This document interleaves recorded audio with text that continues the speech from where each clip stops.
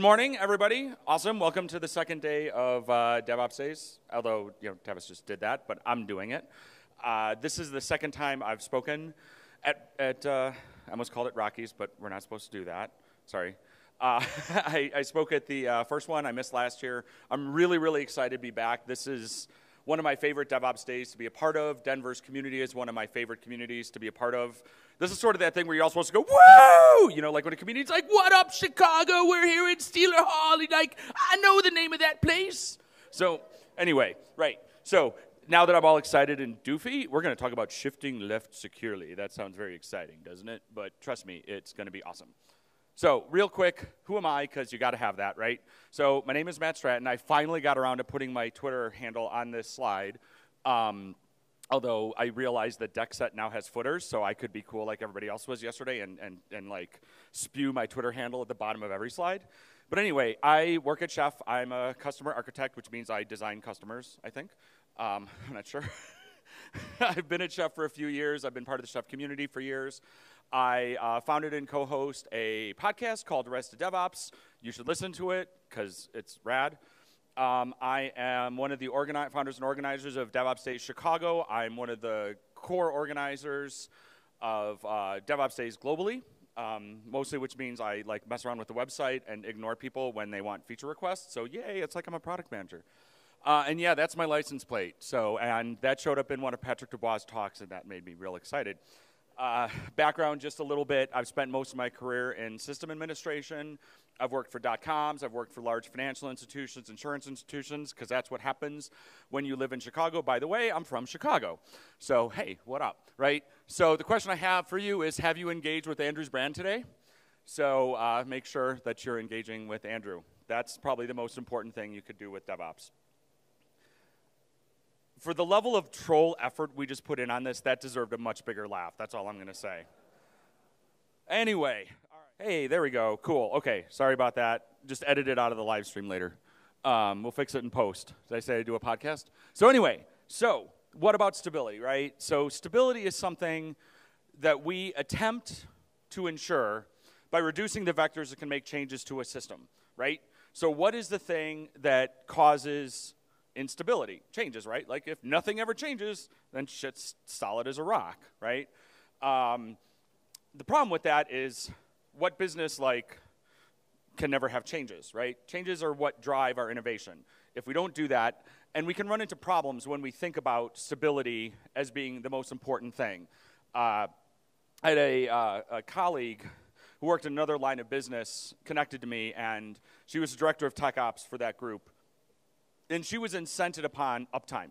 So her bonus was a percentage of uptime to their site. How inclined do you think she was to allow any changes to their stuff? Like zero, right? It's like, hey, develop, you know, if your products like, hey, we totally need to ship this thing, and she's like, hey, and if you screw it up, that is cash out of my pocket. Guess what? Big no.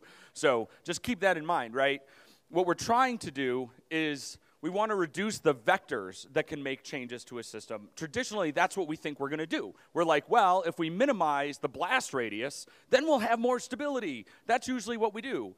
And in practice, what does that mean? It means deployments are executed by trusted individuals with admin access. This is like the biggest line of bullshit I've ever heard. And I've been a sysadmin my whole career.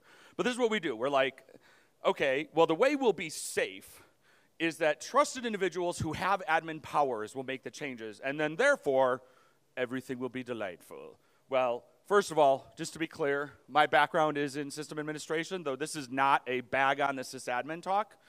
I may bag on sysadmins, but that's my tribe, so it's cool.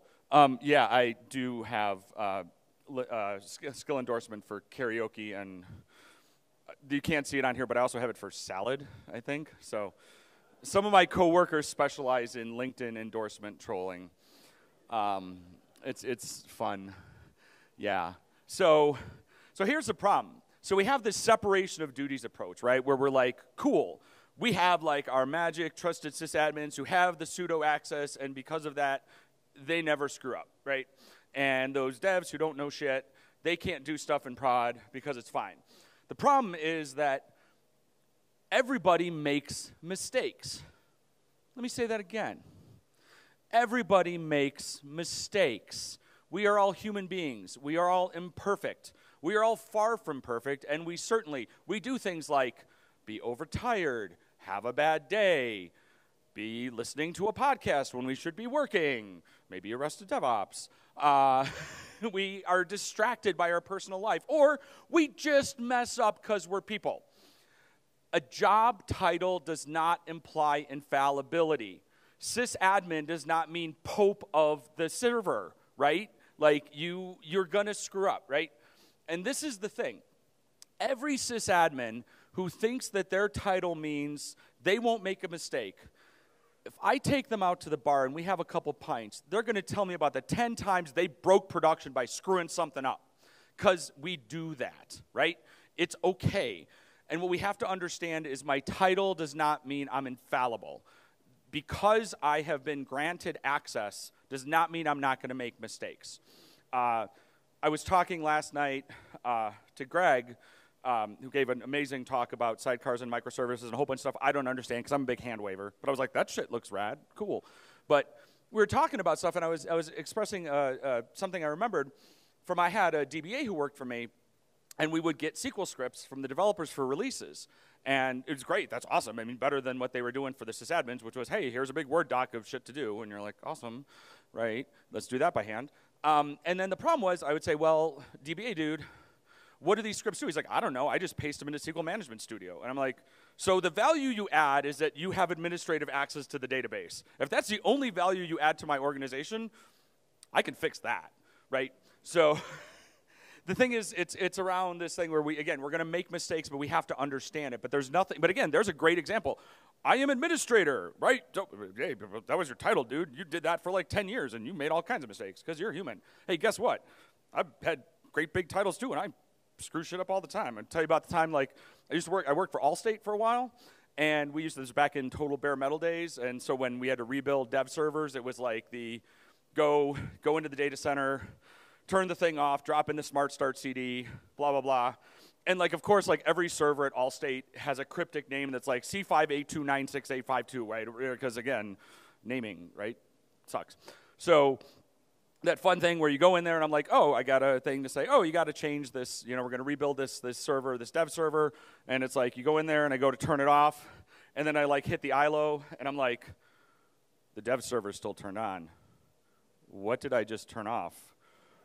Turn it back on, walk out of the data center, stand outside the door, see if anybody freaks out. Nobody freaked out. Cool, let me go back in and do that. And I am now a thought leader of DevOps, so therefore everybody can mess shit up right? Okay. So, this also creates a huge burden on one group to be able to understand all the options and variants that steps in like a run book or whatever could create, right?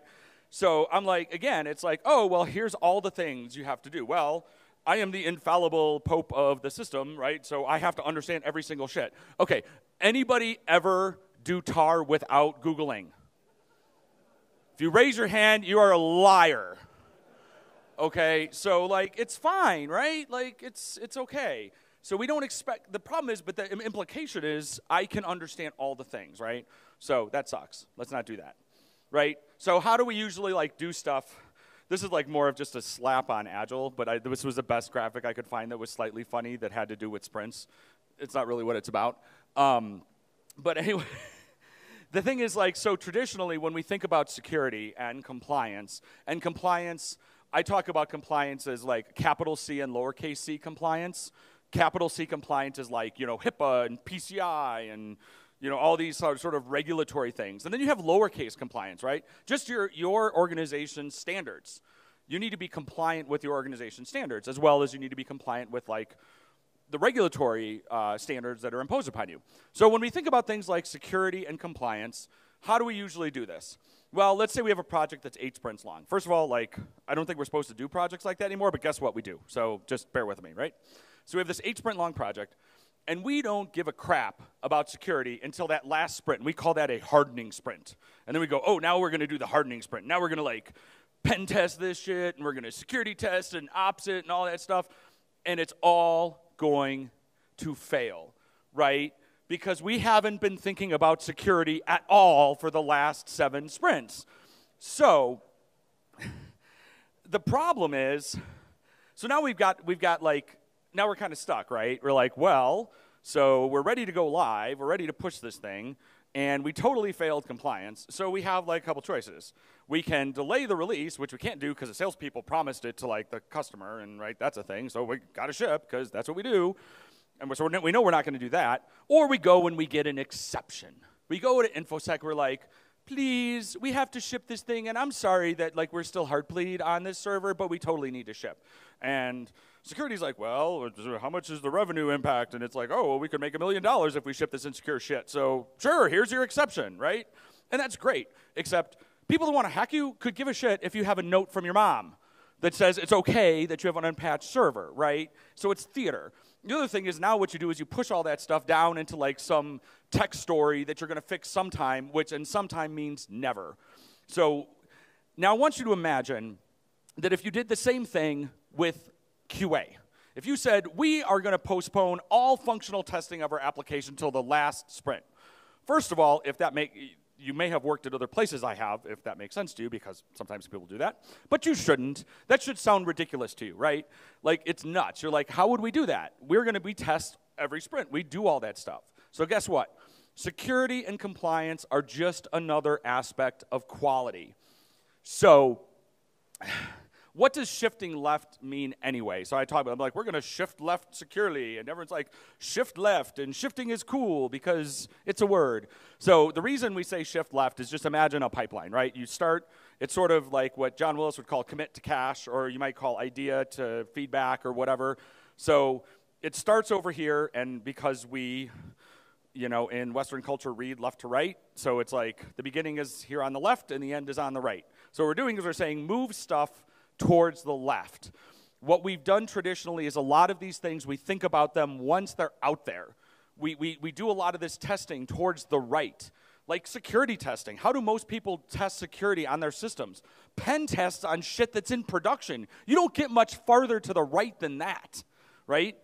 so and and we've already been doing this with development we're like hey let's do like early testing and local development and all this good stuff and it's like hey guess what well let's do this for other stuff too right so, the, the reason that we want to do this is the closer to the introduction of a defect that we discover it, the cheaper and easier it is to fix, right? So, I'm sitting there and I'm writing like a chef cookbook and it breaks, and I run Test Kitchen and I see like two minutes after I write it that it broke. I can fix it right then. It's super duper easy, right? Or I've got some you know, I wrote some crappy little Go CLI that people are using. I didn't write any tests, and I release, and people are using it. Now I'm getting issues back that shit's broken. I'm like, God dang it, got to go back. But if I wrote tests, I can fix it then, right? So the problem too is if you got to come back and fix something like two weeks or two months or six months later, you haven't the slightest idea how to go fix that stuff because your brain's moved on to something different. That's why we want to know, like, as quickly as possible when we've broken something. How many people like totally get that when it comes to like code and functional testing and applications and everybody's like, "Yeah, that's totally what we know." Really? This should not be new. the idea is it's new for security. Okay. Well, let me put it this way. Do this with your code too. Okay. So, now we have some challenges here, right? Right? So I mean, if my tests don't pass, well, I just changed my tests, man. Right? So the light is green, the trap is clean. So one of the things, this is where separation of concerns, especially around security, can really come into play, right? So whatever type of testing you're doing for compliance, um, and again, it depends upon the organization. You may be in an organization where you're like, the reason we care about security and compliance, it's, hey, we're like a 10 person startup and like i'm the one person that does all the things well it's not a problem that you write the security tests and everything too because you just want to get value but sometimes you do have regulatory reasons, right? So you want to make sure that the people who care, who are expressing what compliance means, are owning those tests in a way that are separate from what's happening. And I'm going to talk a little bit about how that can get tricky because you're like, well, don't test like live with the thing. That's why we have pipelines. Okay, right? So now we talk about a lot of times, and I'll give you just to give a little background. I know like I'm kind of going to be talking a little about treating your infrastructure like infracode with this, but this does apply to applications as well. We just sort of have it solved a little better there in certain ways because we're already at least thinking about it. But one way or another, we talk about treating infrastructure as code a lot, right? Um, And what does that mean? Infrast- when you treat infrastructure as code, besides it being like, there's all sorts of buzzy things about it, but to me, infra code, in treating your infrastructure as code means that it's modular, but it mostly means that it's versioned and it's tested and it's in version control when I say it's versioned, right? So why wouldn't you do the same thing with your workflow and with your pipeline, right? You're sitting there saying, you know what, we're going to automate the crap out of stuff with Puppet or Chef or Ansible, and we're going to make sure that there's no way you can make a change to a system unless you like check shit into Git and it's going to test it and everything like that. But we're going to change the workflow, so I'm going to go click in Jenkins and press a button and do whatever. It's like, no, man, it's that's all. It's workflow as code. So everything as code. Let's just understand that, right? If it's a thing, make it be code. If you don't know how to make it be code, invent it, right? There we go. Cool. Okay, so how does this actually help us with security? When we talk about all this stuff about versioning your pipeline and doing all this, what does it really mean, right? So I've already talked about this, right? I, I my slide got a little out of order. Uh, but again, we want to be continuously testing for security. I, I cannot say enough that compliance and security are just another aspect of quality. What you do not want to do, this is another thing. This is what I call, you know, it says, you know, what you, what you not want to do is have a test in your pipeline that cannot be run by a local developer. If you do this, you're basically a big jerk face, right? So imagine this, right? So I've got my little pipeline that says, okay, I'm going to release my thing, and I'm cool. I'm like, I'm hacking away on my laptop, and I'm building my Go app, or I'm building my Chef cookbook and stuff. All my tests are passed, and I get it in there. It goes through a bunch of stages. It hits like the final stage, and now it runs like a Qualys test, and it fails. And it's like, screw you. And I'm like, dude, I totally wanted to test. Now you don't assume people want to, but like maybe people want to like do the right thing and test. So you need to provide that ability. The problem is a lot of times we have these heavy things that you can't replicate and that's super rough, right? And there were talks yesterday about how you can do that better, how you can sit down and you can actually there should be no difference with what you can do. Again, as I said, we've got these powerful laptops. We should be able to replicate what we're doing for our testing locally so we can t- find these defects as early as possible. So, for example, right, let's say this is like the super simplest uh, pipeline ever, right? It's like, oh, so we go and it does like a lint test, and it's a functional test, and does a security test, and then it's like, hey, screw you, because you failed the security test because you couldn't do that. And now I'm super pissed because I'm like, dude, I totally would have fixed that like two days ago if I could have run it locally on my machine. So and the problem is, again, these tests for security tend to be really heavy because a lot of the tooling around security is really heavy. It's expensive. It's like really central server based. It's all scanny. You know, you got to be like super duper infosec, you know, maven to like have access to the tool and all this stuff. And there's no way that you can run it against like some local VM on your laptop. So keep that in mind. We'll come back to that in a second. Here's the thing, right? So, here's the thing. When you're trying to figure out how you're going to have some control of stuff, if you spend time, and again, this is when we talk about how we're introducing security and change. If I spend my time keeping people from doing X, Y, or Z, you know what they're going to do? Oh, that was weird. They're instead going to do A, B, or C to get the outcome that they want, right? We don't want to think about, like, how do I keep people from doing the thing? I want to think about the outcome, right? And this is a little bit of a chef thing, but it's like, hey, you think you're going to keep people from mounting things with Foodcritic? Let me introduce you to an execute resource, right?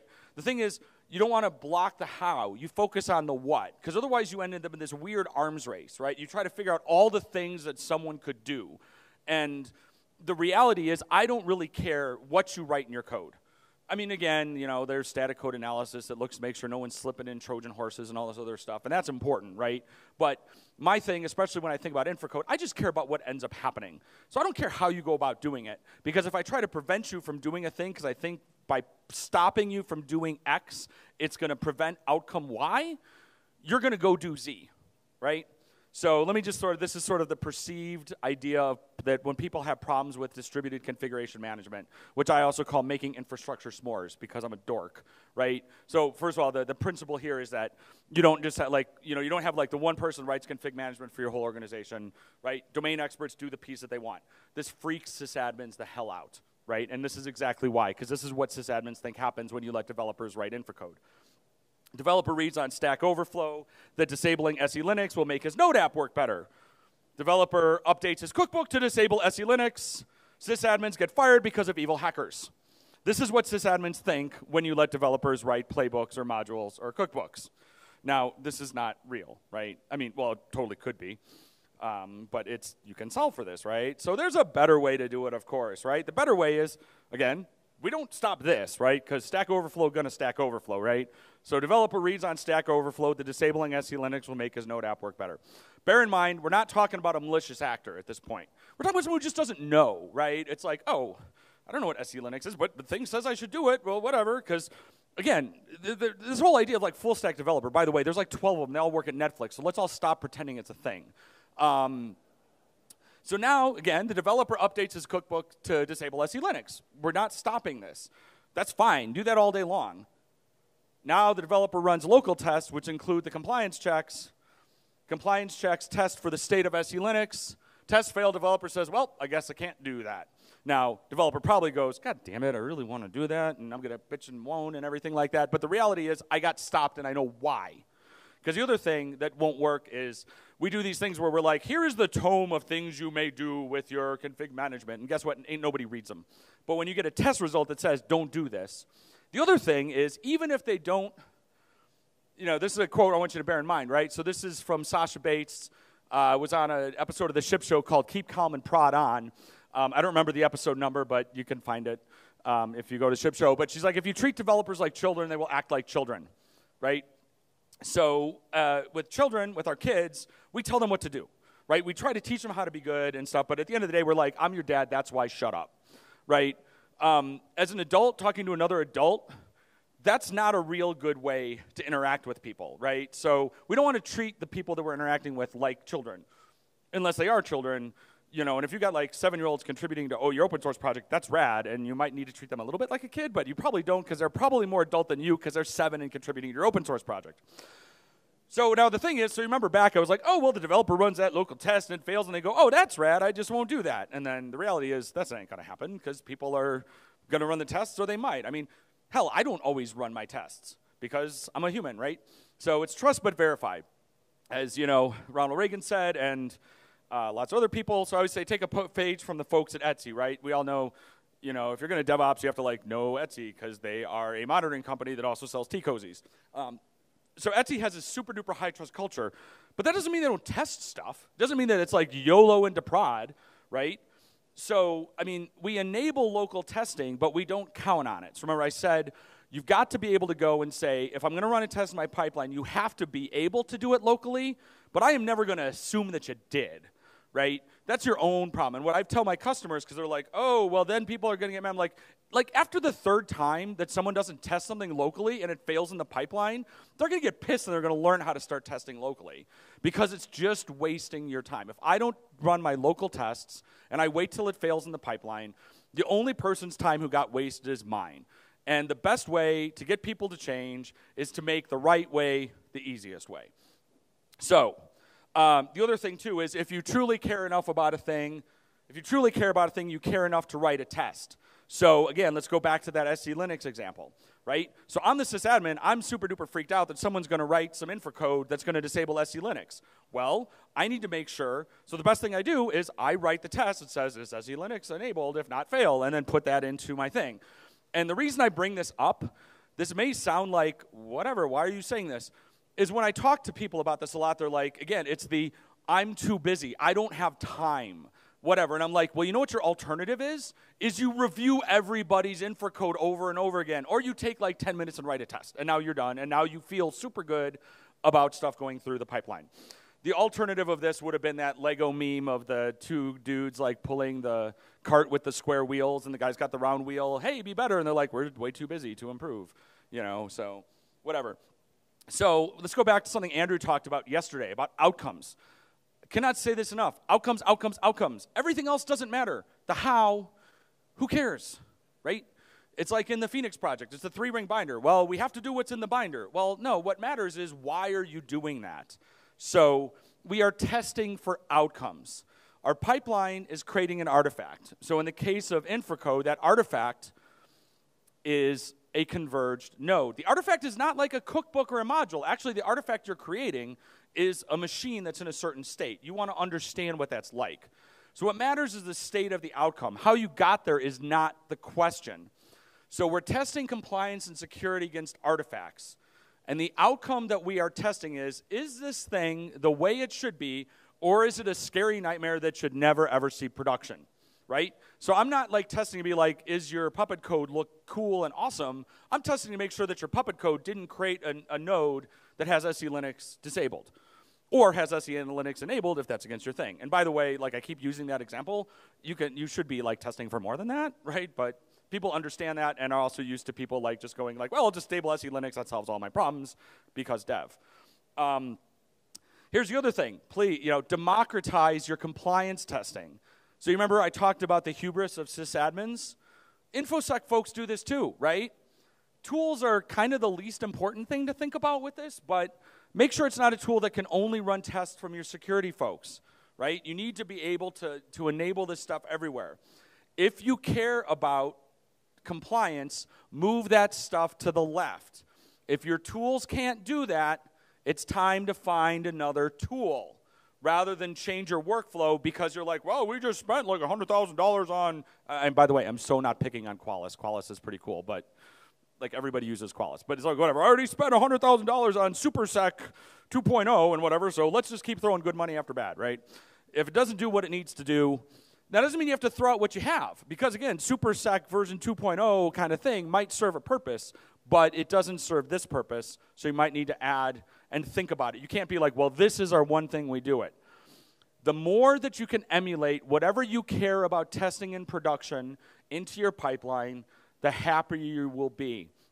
Remember, monitoring is just testing with a time dimension. This applies to compliance as well. So, whatever you're testing in production, when you've got your scans, you've got your thing, why would you not test that against stuff before it gets released? Because, boy, you know what sucks the worst? Is I go to deploy an application or infracode or something, and I ship it, and half an hour later, I get pinged from InfoSec to go, dude, you just totally failed a pen test. I'm like, God dang it, if I only knew, right? So, oh boy, here comes a vendor pitch, right? Uh, don't worry about it. I, this is so not a vendor pitch. The vendor pitch is in like half an hour. but I'm just I'm not here to pitch products, but I'm giving an example from something with Chef because I want to illustrate something. So this is something called InSpec, and it's a way of treating your compliance as code. And the example I'm giving here, so I just want you to think about what makes sense in your world. But let, us look at the two differences of how you might be able to evaluate the compliance state. So at the top, you've got you know, good old shell script. So I'm going to grep for the SSHD config. I'm going to make sure that this file's in there, blah, blah, blah. What, like, InfoSec auditor is going to be able to write that? No, no offense, InfoSec people in the room. But, like, that requires deep knowledge of the system. And the reality is, what I care about is, is this thing in the state versus being able to say, I have a control, here's the impact, this is how it connects back to my compliance stuff. And all I'm doing is saying the SSHD config because it knows how to do that. The thing is, this is compliance as code. Now, that being said, if the thing that works for you is having some kind of custom, artisanally crafted minimum viable bash that does the equivalent of this, do that. Do something, but don't just trust on whatever stuff. So, the benefit of this is we're in a state of continuous audit. We don't have audit theater. This is audit theater. This is every audit I've ever been a part of okay, we're doing our regular work. We're like, oh crap, quarterly audit coming. Well, let's work really hard to get compliant. Oh, the auditors are there. We are so compliant. Now let's go back into our usual work activities and we totally drift. Sucks, right? Because it's just total fake reality. We want continuous compliance. And remember, sorry, you don't have to slay this whole dragon at once, right? Think about incremental versus iterative. And the idea of this is simply if we're thinking about building, like if we are going to draw the Mona, uh, paint the Mona Lisa incrementally, um, that got weird. Uh, we would sit and we would do a chunk at a time and a chunk at a time. So what this means is you don't have to like write every single compliance test to your whole organization all at once. Ah! Like do one and see how it works and start adding it, right? Start leveraging things that might already exist like CIS benchmarks and stuff like that just to get some visibility and understanding of like how bad your shit really is because I got news for you, it's really bad. Um, so, to review. Treat your pipeline as code, treat everything as code. I mean, like treat everything that isn't a person as code. Trust but verify your domain experts, right? So don't be afraid of letting your domain experts contribute, but trust the shit out of it. Um, I'm sorry, but verify the shit out of it. Focus on the what, not the how. Outcomes, outcomes, outcomes. Use your production audit tests in your pipeline. And again, test. So I'm to, I don't, this is just like my little mic drop slide. But uh, just a couple things. So some resources. I highly recommend Sidney Dekker's book, The Field Guide to Human Error, because remember, we are humans. We screw up. You need to understand human error, and we need to work around it. Um, at my GitHub, I have a repo called Speaking where I put all my talks, so this will be out there. I'm on Twitter, my speaker deck, and yeah, go to like listen to Arrested DevOps and stuff. So my timer is up. So I, I don't know, we got a minute for questions, or is that rad? Is that okay? Okay, does anybody have any questions, comments, problems with your life?